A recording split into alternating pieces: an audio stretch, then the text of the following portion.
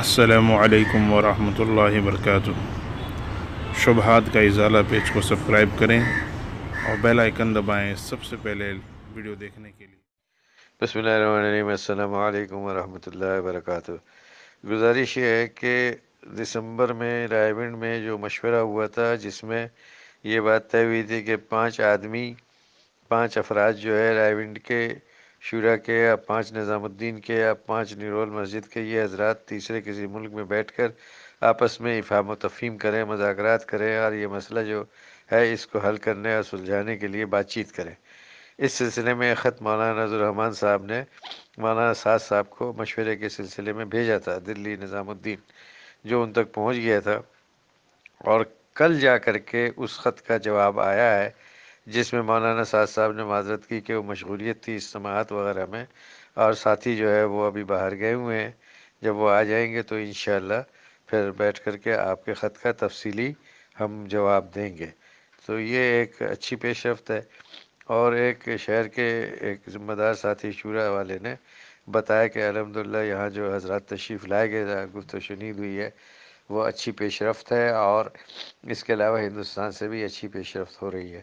تو اللہ کی ذات سے امید ہے کہ یہ سالسی کی جو کوشش حضرت مولانا مفتی تقی عثمانی صاحب نے اور پاکستان کے چوٹی کے علماء نے شروع کی ہے، یہ انشاءاللہ کامیابی سے ہرکنار ہوگی۔ پاکستان کے چوٹی کے علماء جو ہے وہ جمع ہوئے تھے۔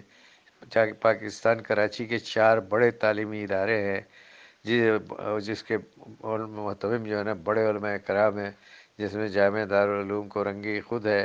جامع فاروقیہ ہے مولانا سلم اللہ خان صاحب کا، اور جامع اسلامیہ ہے مولانا یوسف بن نوری صاحب رحمۃ اللہ علیہ کا، اور اس کے بعد جو ہے جامع الرشید ہے مولوی مفتی ابراہیم میواتی اور مفتی مولانا محمد صاحب کا۔ اسی طرح جامع شفیہ بہت بڑا دینی تعلیمی ادارہ ہے لاہور کا، اور اسی طرح نصرت العلوم جو ہے گجرا والے میں بہت بڑا تعلیمی ادارہ ہے مولانا زاہد الراشدی کا۔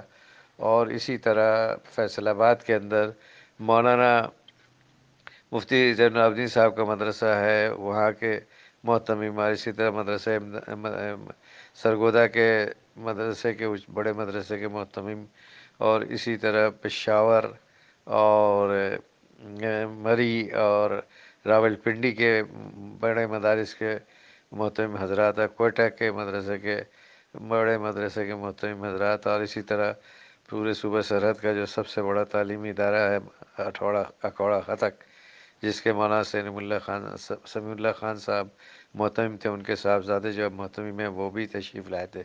غرض یہ سارے چوٹی کے پاکستان کے علماء کرام ہیں جی جس، جنہوں نے متفقہ طور پر اس ایک تو اول تو اس مسئلے کے حل کرنے پر یعنی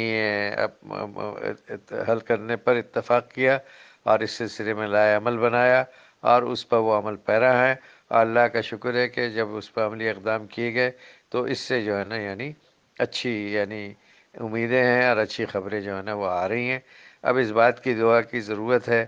ایک مختصر سی دعا کہ اللہ اس امت کی بگڑی بنا دے۔ اے اللہ، تو تبلیغ کی بگڑی بنا دے۔